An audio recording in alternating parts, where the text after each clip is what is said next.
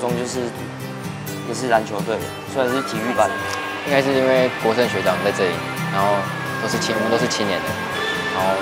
拿他当借鉴，然后想要来这里读书。呃，那时候高中考完学测，就是我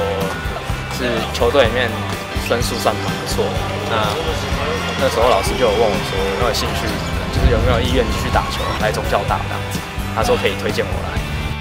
当初本来读泰山高中，有想过要往甲一的学校发展，可是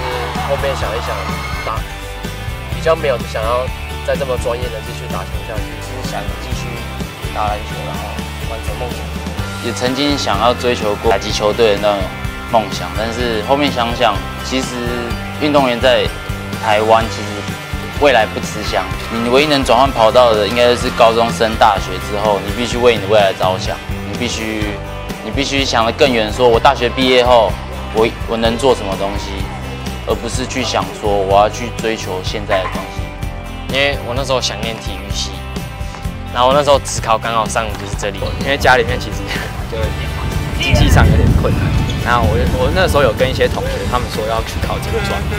因为就是警专学费负担没有那么重，啊如果顺利的话，出来就是直接衔接工作。他们都跟我说，大学是。非常有趣的时光，叫我说，就算你进去还是在球队，那也没有关系。你大学四年一定会体会到